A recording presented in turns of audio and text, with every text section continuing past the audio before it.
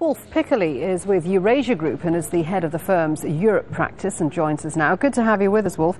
Um, it's interesting that most analysts say that if Europeans could vote in the US election, then uh, Obama would win hands down. That's not really to do with his handling of the US economy, though, is it?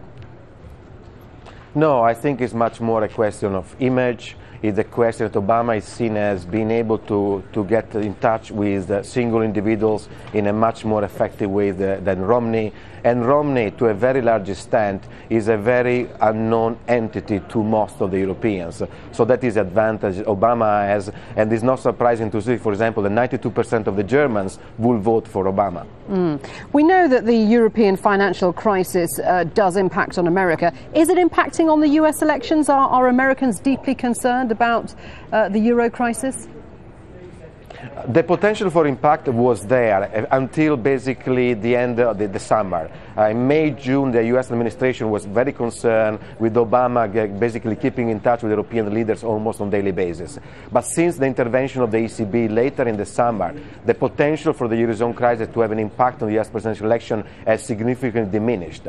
It's also important, uh, interesting to see that uh, when you look at the presidential debate in the United States, it, there is one clear takeaway there. Nothing has been learned by either Obama or Romney about the Eurozone crisis, meaning the debate has been about the economy in the U.S., but not, not, not much at all. We have heard not much at all about how to tackle the budget deficit in the United States. So it's a missed opportunity here also for the, for the American leaders to learn from what has been, what is still happening in, uh, in the Eurozone. Uh, and in reality, I mean, whether Obama uh, gets in again or Romney gets in, there's not a lot that either man can do about the crisis in Europe, is there?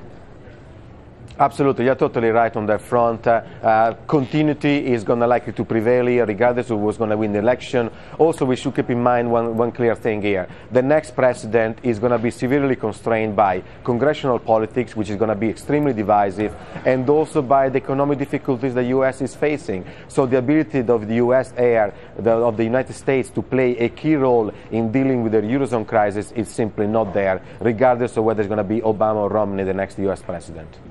Some interesting stuff there. Wolf. thanks very much indeed for that. Wolf Piccoli from Eurasia Group there.